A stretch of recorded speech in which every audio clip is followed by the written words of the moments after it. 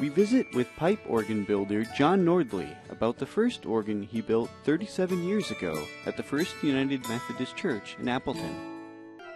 When, when I was very young, probably about 19, oh, I'm going to guess 58 or so, I was with my family, a member of First Lutheran Church in Sioux Falls. And at that time, they acquired a new pipe organ. They bought a new pipe organ. And I was six, seven years old. And my mother said, I came to her at Christmas and I said, what I really wanted for Christmas was a pipe organ. And she said, no, you know, that's, she thought I just wanted uh, some, a little instrument or toy or something. I said, no, I want that big one like they have in the church. And that's kind of how it got started. It was always in the back of my mind.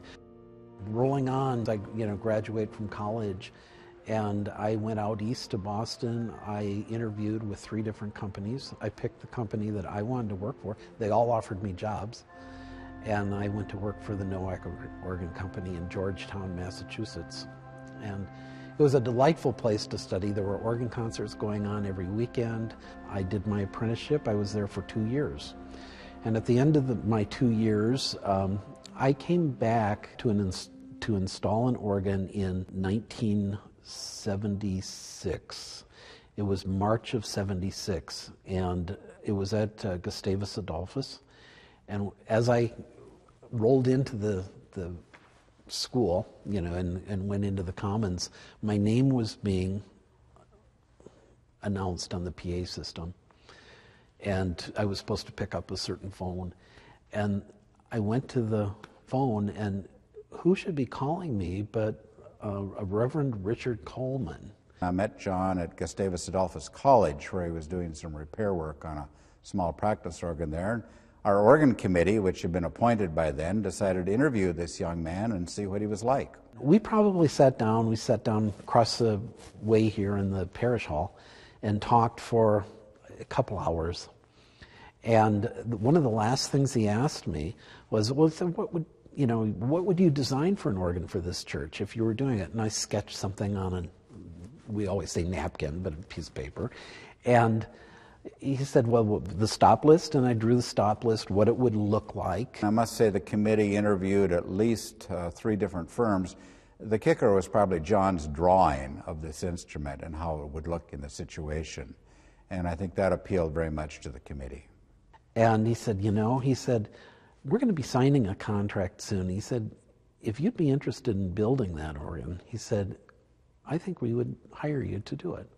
Completely out of the blue. I had no idea that that was coming. And I was, wasn't quite prepared for it, really. John is a very meticulous craftsman. He's a very good businessman, too. He's a person who can be trusted, but he knows the physical craft of organ building and that did impress the committee. I remember he brought in the keyboard to show us uh, that he had created to show us uh, to the committee, and it was great uh, to see that kind of craftsmanship. So it's reliable craftsmanship over a long period of time.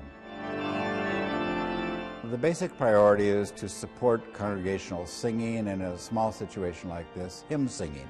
The vitality of hymn, hymn singing is very important. The pipe organ is a wind instrument. And uh, the committee wanted the genuine article, a pipe organ, if possible, in a small situation. Um, and it was possible because uh, farm prices were good then, and John's first uh, proposal uh, had a decent price attached to it. Well, actually, I got the check before I ever left Massachusetts, sent it to my mother, and told her, said, set up a checking account with this money. And that's what she did. And I, she said, what, what name? I said, just call it JF Nordlie Company. And uh, that's really how it got started, just that fast.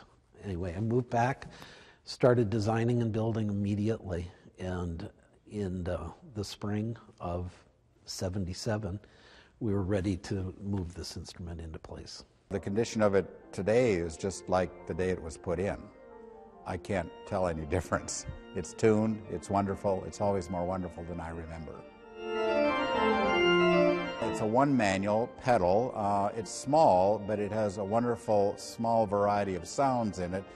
The, the sounds make a big difference. They're very present to the room, and it helps you become a better musician when you practice on it. This instrument in Appleton is the first organ that I ever built. And um, it means a lot to me that it still has such an incredible draw after 37 years. You know, its history, uh, you know, people love to come and hear it. I still love to come and hear it. What we did today was we came up to look at the instrument to figure out, and it's spring now, so things are calming down. We found a few little ciphers where it was, you know, speaking just a little bit when it shouldn't, and we adjusted those, and then we had to tune the instrument. This instrument's been very stable in the tuning. I, I think it probably, well, today we tuned three pipes in the organ out of what about 600 pipes, and there were only three that needed to be eh, real, really needed attention.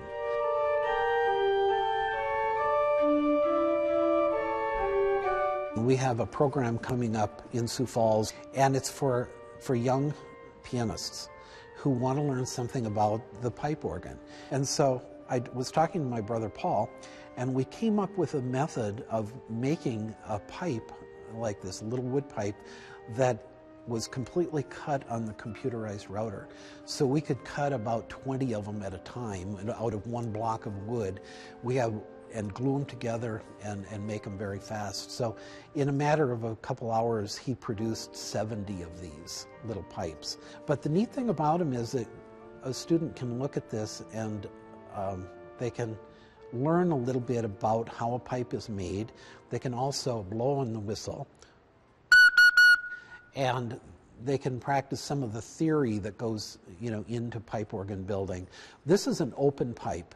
If it had a stopper on the end of the pipe, which you can do with your thumb, it's roughly an, uh, an octave lower in pitch. So this is without the stopper. And with the stopper,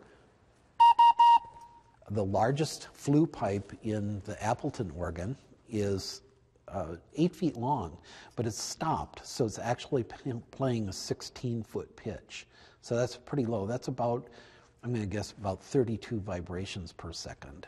They're almost like somebody once said to me, it's, it's kind of like your children, actually. And I said, it, it is. I kind of have, you know, a lot of them out there all over the place, these little pipe organs that are, you know, kind of like my children you know and kind of like children sometimes you know you're really happy with them and sometimes you know they misbehave but uh, this one's been a really good instrument it's it's stayed in tune it's worked well. You know it's just been a, a great instrument to have in my uh, my opus list and this being opus one